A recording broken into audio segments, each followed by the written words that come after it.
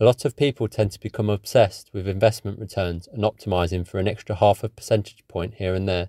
However, the fundamental driver of achieving financial independence is actually down to your savings rate.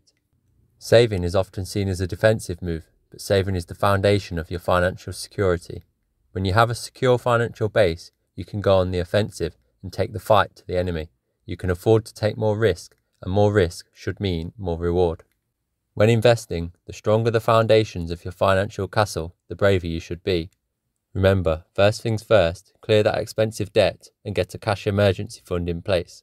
But after that, you can afford to be braver with your money, take equity risk, and buy into the stock market.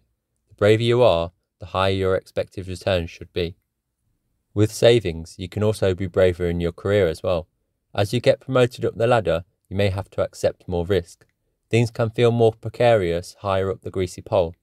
A higher salary makes you a juicier cost saving from an incoming CEO. As you get higher up the chain, you realize that everyone is actually making it up as they go along. Safety and stability are illusions. Money is the power to control your own life. Without money, you will always be at risk of being pushed around by life and by other people. The relationship between savings rate and time to fire. It's time for more people to get excited by savings.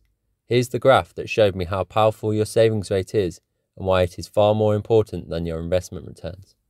On the y axis, we have the time until the person reaches retirement shown in years, or more accurately, financial independence, the position where work is voluntary.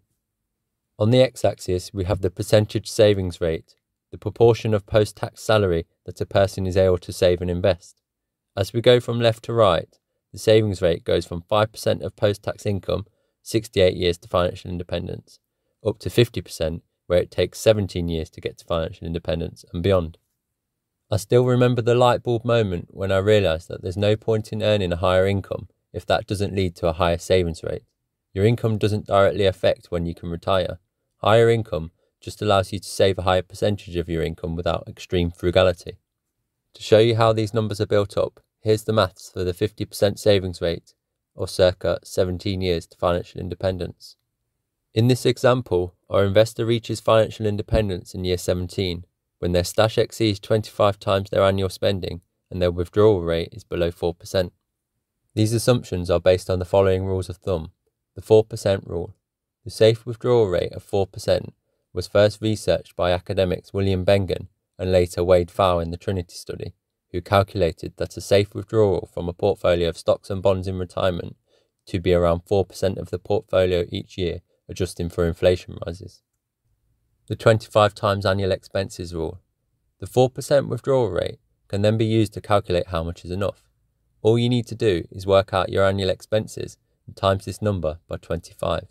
For example, if a person needs 20k to live each year, then they would require 20k times 25, which equals 500k. Thus, the 4% withdrawal of the portfolio each year would provide them with 20k. If you need 100k per year, then the pot required increases to 2.5 million. Another reason why life is easier if you have a bit of monk mode in you. If you are just starting out, don't let the high percentages put you off. I accept that for many people, these figures will not be achievable, or at least not yet, and not without a crazy level of frugality. I'm sharing them because they illustrate powerful concepts. When you want to help people, you tell them the truth. Illustrating trade offs.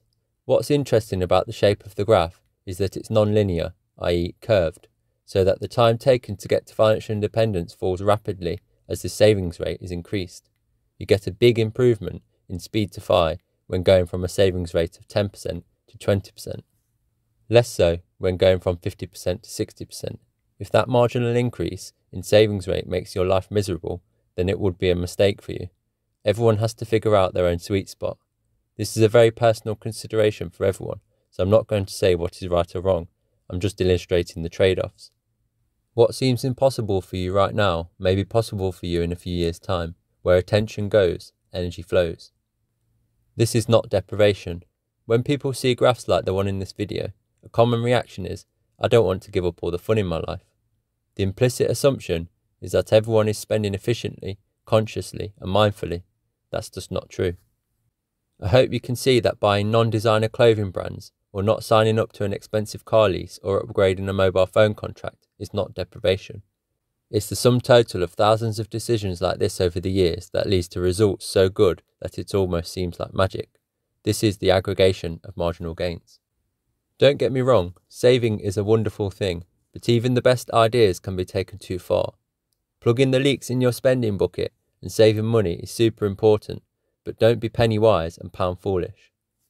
The problem for extreme frugalistas is that they won't spend any money on health, self development, or education. If you are saving money by not buying a potentially life changing book, that's a rookie mistake. Not everyone can be a high earner or reach financial independence by 40 or whenever, but everyone can learn to get better with money. This is why I say that the tools of financial independence are for everyone. Amazing things are possible once you get on the path and keep going.